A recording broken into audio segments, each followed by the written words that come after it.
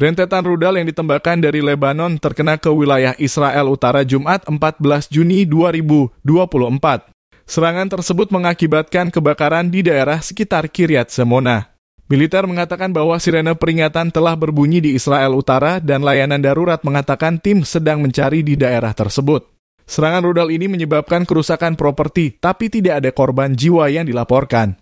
Tayangan televisi pada hari Jumat menunjukkan kerusakan bangunan dan mobil serta kebakaran hutan di beberapa lokasi yang disebabkan oleh serangan atau puing-puing yang berjatuhan di tengah kondisi gelombang panas.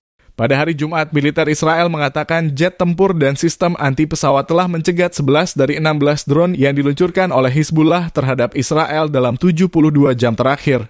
Militer Israel telah saling baku tembak dengan pasukan Hizbullah di seberang perbatasan di Lebanon Selatan sejak dimulainya perang di Gaza pada bulan Oktober. Terdapat kekhawatiran yang semakin besar bahwa peningkatan serangan yang terus-menerus dapat membuat situasi menjadi tidak terkendali. Termasuk risiko konflik yang lebih luas di wilayah yang telah terjadi konflik langsung antara Israel dan Iran. Salvo terbaru terjadi setelah serangan Israel menewaskan seorang komandan senior milisi Hizbullah yang didukung Iran di Lebanon Selatan pada hari Selasa, yang mengakibatkan pemboman terberat di Israel Utara sejak dimulainya perang pada Oktober tahun lalu.